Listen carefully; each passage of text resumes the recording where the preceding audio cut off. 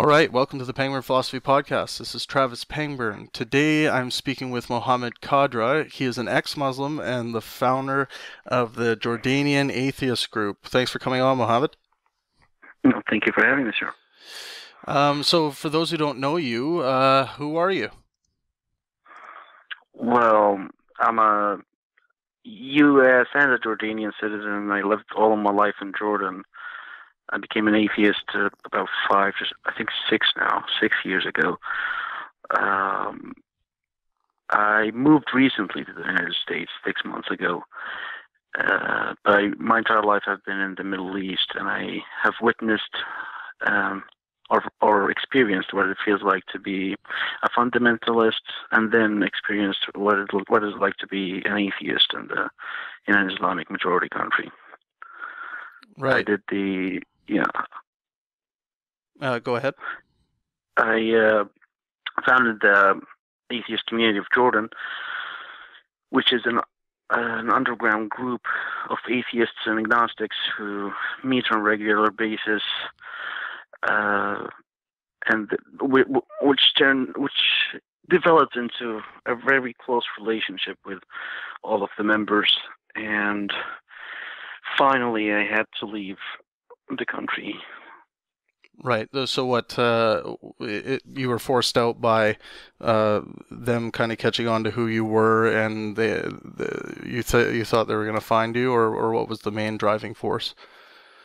Well, I went to the International Conference for Free Expression in London in July of last year, and then I, I gave this speech about Islamophobia and how it is treated in the West and what is it really like in the Middle East.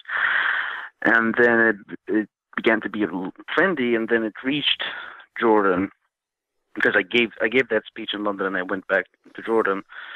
So when I came back, uh, people started to notice that, and um, at work, uh, my the owner of the company got me in. He's like, "What is this on YouTube?" and we had an incident in 2016 where one of our guys who published a cartoon mocking how uh, how ISIS view of uh, heaven is, which is basically how how Islam's view of heavens is. But like he was just literally talking about ISIS, and the whole Jordanian community was asking for the government to get him, and they did.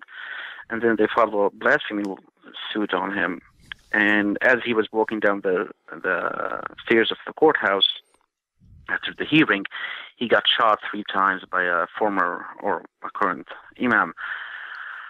And then he was killed in 2016. So after 2016, the whole movement started to be more secretive than it already was. And after that video, we got a message from a friend uh, from a number in Ireland, which is weird we got a message from a number from Ireland sending that you guys will be the next Nahed Hattar, who was the guy who got killed in 2016. Right. And that was the moment where I decided, like, five years is enough for, for Jordan. Like, maybe I should consider leaving. Yeah, no kidding. So, so essentially, uh, so he he was being charged for blasphemy, and the penalty for blasphemy, where he was being charged, is is three years. That's the maximum. Uh, because Sharia law is implemented in the country, but not, not like Saudi Arabia or Iran. Right. So the original Sharia law is death. Yeah. But in Jordan, they just give you three years for blasphemy. Right. If, if you're if you're considered an apostate, you also lose your civil rights. Like you cannot inherit, you cannot marry. Even if you're married, you're divorced legally by the government. Uh, and with the blasphemy, you get fines and a maximum of three years in jail. So they did that to him. But the, main threat, as you can see, which is self-evidently true, that the threat does not just come from governments. It also comes from a society that is taught that people who are apostates or mocking Islam deserve to die. Right. Exactly. Um, so yeah, I mean, I can I can see why you wanted to get the hell out of there. it um, and uh, feels kind of bad actually. Yeah. Yeah. Yeah. What like being forced to, to do it from a place that you you genuinely loved as a country, but you cannot be a true citizen if you're not a follower of a certain sect of a certain religion. Right. What did you love about your country? Well, it's uh, homogeneous a little bit more than here, and people are around the same. Nobody judges you as as much as they can do that in the United States. But I learned a lot from here, and like uh, I, I consider myself a citizen of both countries, and I appreciate them both. I even appreciate America even more. Uh, losing your family, like I can, you might not see them again, and losing all of your loved ones and who you, where you grew up, just for the fact that you believe in something different, right, is kind of sad. Are you uh, still in contact with your family? Yeah, I am. Yeah. How do you uh, how do you make that happen? Do you just have to use like untraceable phones, or or, or do you do you not go to that extent? Yeah, uh, well, I don't go to that extent, but I'm considering it now because a friend of mine was sending me money about a month ago, and the intelligence got him for two days into questioning and like, where am I? Because I use my Jordanian passport to leave right. Jordan, so they consider me in, in Romania. Well, I took my U.S. passport from Romania all the way to the United States, and so they got them into question, like where was Muhammad and all of that. And so, I don't know, maybe I should be more careful. Yeah. So, what what ultimately uh, made you give up Islam? Were there were there um, were there writings you read that that really led you to uh, to atheism? Well, it started out very weirdly when I got encouraged by when I was young, I was a kid, and uh, 9/11 happened, and I was fascinated by it. I was like, "Yeah, we took over, like we we hit America, the infidels." And I was like, I don't know, I think I'm third or grade or fourth grade, and this deep love of the caliphate and having Sharia implemented worldwide got to me, and then I started. As I grew up, I started to be more and more religious and believing that we can only be great again if we can let Islam dictate what, what, how, how our lives and the lives of others are. And if we can have Sharia back and we can have the caliphate back, everything will be all right. So, putting yourself so in that, that in, in, that state of mind, um, were like were you experiencing the uh, the severe abuse that women endure while you were you were going through this, and was just this just looked at as as normal for you? Of course. I actually did it. Like, yeah. It's it's uh, it's a given, you know. You, you, and I I feel ashamed now that, that it's a very big part of my life. I used to consider women as something inferior than men, or like homosexuals, or people who just do not deserve to even stay alive. Right. Anyway, so that that whole mentality got me to be more religious and to try to either be a jihadi or either be a preacher. And i decided to go like maybe i should be the preacher and let's study more uh, and how study how how can i debate with people and convince them. And that made me gave me a, an idea of okay let's get out of the whole space of islam and look at all religions or actually let's go beyond that. Let's try to prove god and then prove Islam, then prove the Sunni sect. So you and when I went out of that box, yeah, I couldn't just go back in. Yeah, yeah. So you made a, a definite choice there. You you could have you could have very well become a jihadist. Um, yeah. And, but you made the choice to to preach instead, or to to mm-hmm. and, and to go down the learning route, and and you chose essentially the the education side of that equation, and you started learning a lot more. Yeah, and I, as I learned a lot more, I found out that you can you can't actually prove God's existence. And then when I went back to Islam, studying it without glorifying it, I began to see all of the flaws, and then I became an atheist. Um, why don't you uh, share with us one of your darkest moments uh, while you were trapped by the chains of Islam? Um, is it? Uh, did you inflict pain on people? Did you uh, uh, did you ever hurt anyone?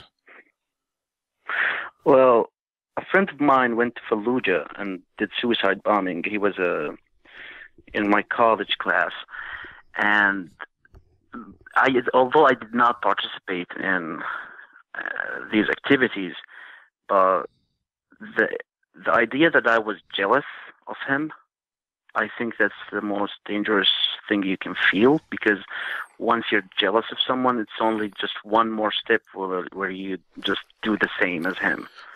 And I had that great jealousy of him that he achieved something. He's now in heaven, and look at me. I'm just studying engineering and just going on with my life while he just protected Islam and just killed those Shiites. And that intense hate that was within me is, I think, is, is the most dark, darkest aspect of the whole thing. Right, and uh, and assumingly he believed and you believed at that time that he was in heaven with 72 virgins. Of course. Yeah. And is this and and is that a big selling feature for for men uh, the 72 virgins or is heaven enough on its own i think heaven is enough is on its own this is one of the misconceptions in the west that uh, the see a lot of people here and i've noticed that a lot since i came here look at Muslims or like anybody who's outside of the West as like they're stupid enough that we have to think for them. Like, no, these are very intellectual people. Like, uh, uh, so it's not the idea of like, oh, I just want women, so like, yeah, let's go kill. It's it's actually way more beyond that and way more bigger than that. It's not my, the, the sexual oppression that's that's forced upon you by by Islam is, is what makes you do all of these things. It's, it's the identity as a Muslim that is much more higher than a Jordanian or an American. Like you define yourself as a Muslim, and you you're ready to protect that faith and to protect uh, the Prophet, to protect God, and to protect Sharia. Yeah. To where you you're able to kill yourself for it. But, even if I yeah. believe that, like my idea, if there was, if the, if in Islam there was even no heaven at all, people would also do this. Yeah. Because so, what, what the main concern is defending it. Yeah, what you've just just described to me sounds very stupid as far as like looking at what people are doing based on this, you know, fantasy. So mm-hmm. that's mm-hmm. why you know, uh, people of the Islamic faith get that reputation for seeming stupid because mm-hmm. a lot of them are doing stupid things like blowing people up. Well, yeah, there are. Uh, I won't say it's not stupid, but yeah. I mean, the, what what you're thinking about when you when you're filled with this hate is not like if I do this, I'm gonna get women. It's right. like how dare this guy say or do that? Like I'm gonna kill him. Right. Right. Yeah, and I mean these are direct uh, orders from Allah. Well, the jihad is is split into two. If the if there is a, a Sharia ruled country, then that country, if it you know, like or the caliph, if he declares jihad on something, and there is an army that can do it, the obligation is lifted from all of the others who are not participating in that army. But because we and and when when there is no caliphate or when there is a land that is occupied and or there's a threat to the Islam world, jihad becomes an obligation on every single Muslim. Now, most Muslims don't actually do it, but it doesn't mean that it's not true. Right. Um, and uh, let's go back a little bit to when you were younger, um, at home with your family.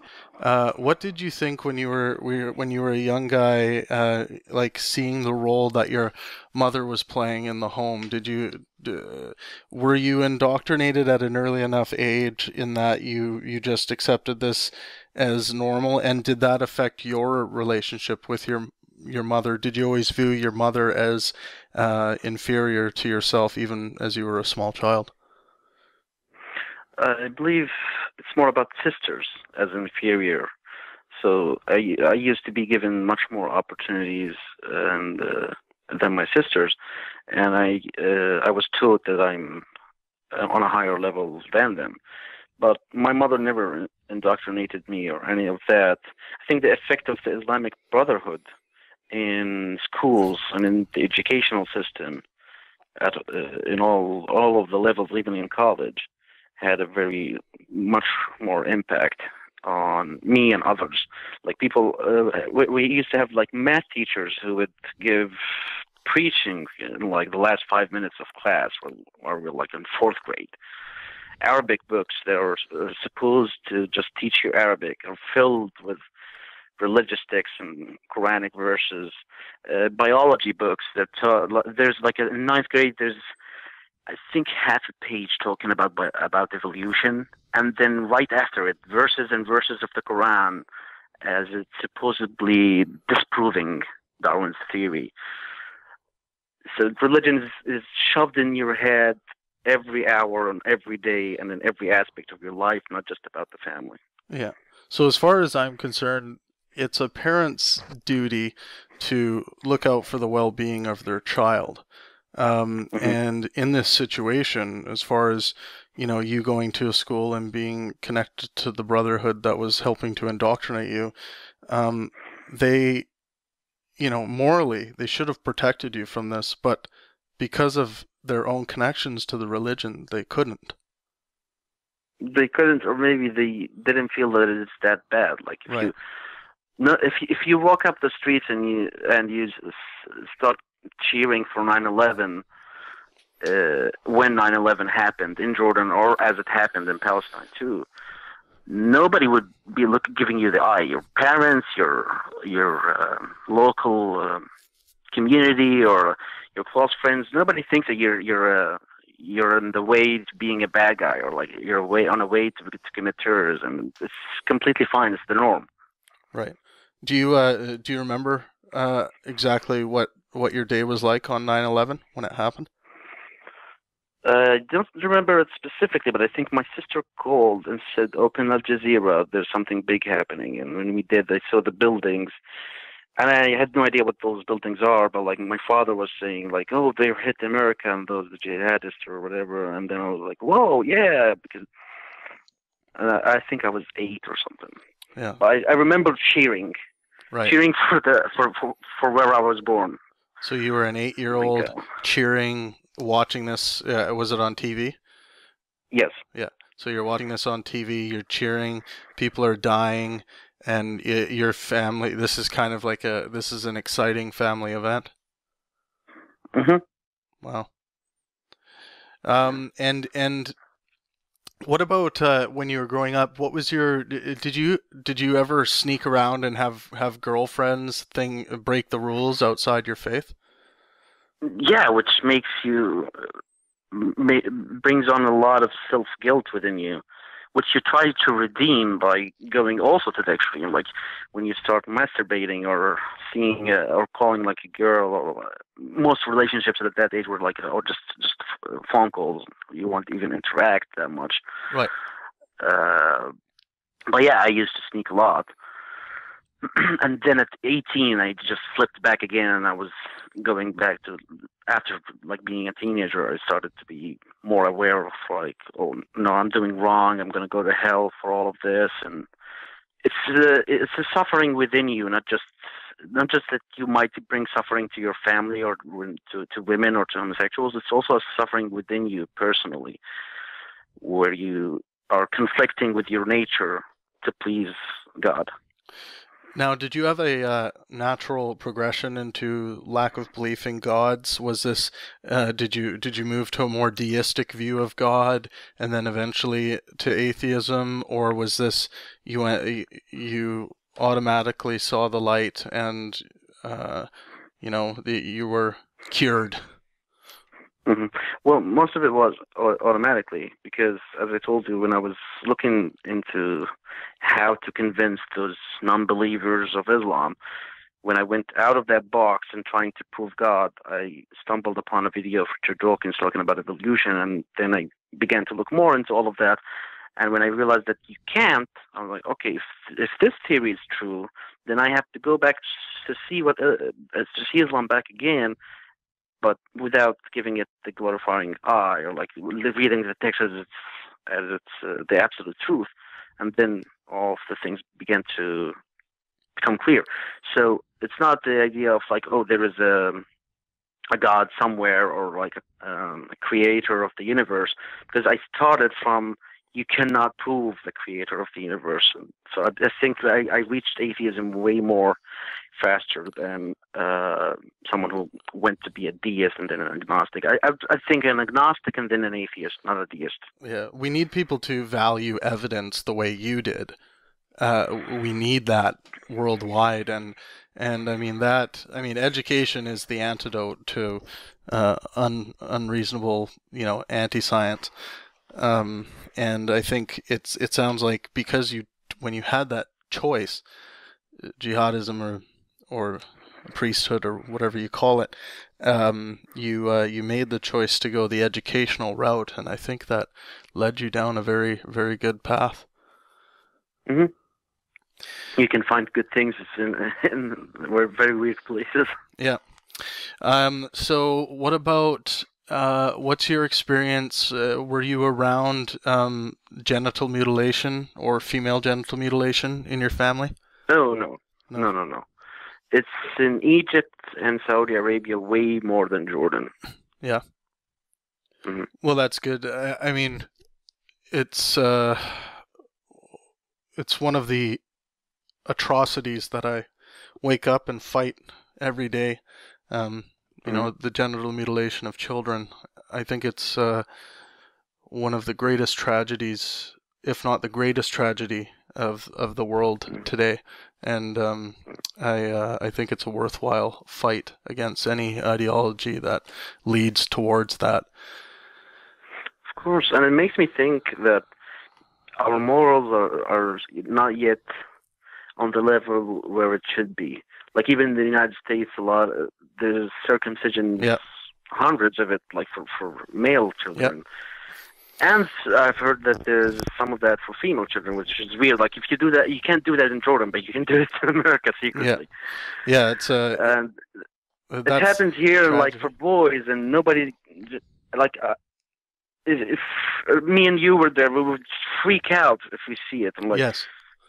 It- you you'd imagine people would be messing in the streets for this, or like it's just the I- norm. I look at I yeah I view it as is this disgusting uh, tradition doctrine that's that's stuck with us and people just haven't uh, applied the correct cognition to it. They, they haven't thought it through, and there's been circumcision apologists coming out of the weeds. These these doctors who release these very pitiful. Not not scientific journals, just articles that no one has Mhm. has uh, falsified or had the chance to falsify um, about you know these these very apologetic reasons as to why uh, you can uh, circumcise a, a baby boy, and they are just bullshit. And the scientific community has already uh, weighed in on this and said that male circumcision uh, is dangerous and it should not be carried out. But it's like it's not only that; it's like it's not only dangerous and should not be carried out. It is a disgusting, immoral act that many otherwise morally sound people do. Mhm. And Actually, I was. Uh, Yeah. Sorry to interrupt you. My friend just finished nursing school in the United States, and I asked her about circumcision in America, and she and I told her she told me that if you have a kid in the United States, they would automatic automatically circumcise him. Oh, uh, like uh, the only way to stop it is that you tell them right when you have that kid wow, that please do not circumcise my child. that's insane. It's not like they come and ask. They automatically do it. You just have to inform them that you don't want this happening to your kid. That's the only way for them not to do it. They're performing. This is in America. Yeah, they're performing a non-medically necessary surgery on an infant Mhm. on the table right after it's born and very vulnerable. This is like this is a story that our ancestors or sorry, our um our future generations are going to look back on and just shake their head and be like these people were developing rockets. They were going to the moon. They were building uh, space vehicles. They, they, I mean, they were eradicating disease, and they were still hacking at the genitals of babies and children. Hmm. It's just, uh, just, it baffles me. Um, so how about a book? Are you working on a book of any kind to talk about your experiences? Uh, yeah, a little bit, but um, I think it will take a while. As you can see, my English is not that perfect, so I'm trying to just improve my vocabulary more, and then maybe build from there. But like, yeah, I've been like, uh, build, I think a quarter way through. Yeah, well, you're. I mean, to me, uh, your English sounds great. Um, so what uh, what kind of dreams and aspirations and goals do you have uh, career wise? What do you want to do with your life? Well, uh, I learned uh, my dream has always been uh, was to become a lawyer, and I have a bachelor in civil engineering. But uh, as I've learned here, that in the United States you don't take law as a bachelor, so you you have to take a bachelor and then do it. So it was. I'm glad that I've already taken halfway through that. So my intention is to take the LSAT and just apply for law schools. Right. And are you uh, are you interested in doing more speaking about your um and, and and continuing your activism? Of course, I would never stop that. Right. Um. What about? Uh, do you still have friends that are kind of on the inside of, of Islam back home that you're still in communication with, or have you been completely cut off from them?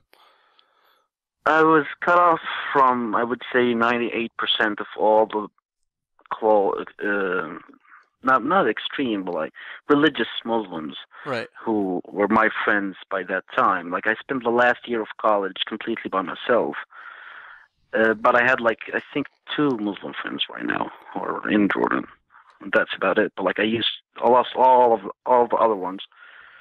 And I, one of one of my close friends was a, was a Salafi, and he when I became an atheist, he was like, "Okay, let's debate, and then like if you convince me, we can stay friends." And I was like, "Okay, let's debate." And one of the things about the debate was a question that I asked that if somehow uh, the ISIS came in and uh, took over Jordan, what's going to happen to my family because the religious law says that my mother and sister has to be taken as sex slaves because I would be fighting ISIS.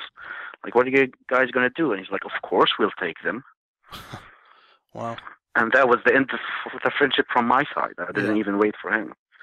So you were uh, you were speaking at a uh, secular conference. I believe it was 2017, and you were talking about on uh, how much of a um, inspiration Richard Dawkins was for you. Um, mm-hmm. Why don't you uh, speak a little bit about what his writings have meant to you? Well, uh, the first book I read about atheism was The God Delusion, uh, which I found that it wasn't even illegal in Jordan at that point. And uh, I bought it I think a month after I found out the videos, and I was just excessively watching everything about evolution. And then I bought the book, and that was the, when I realized, like, the, the, like I'm 99 percent point nine sure that there is no God. Right. Uh, the funny story is, uh, I went back to that library to buy uh, to to see the book again, and uh, this guy was asking for it too. Turns out it's now illegal in Jordan. Like after like I think a few months after I, I bought it.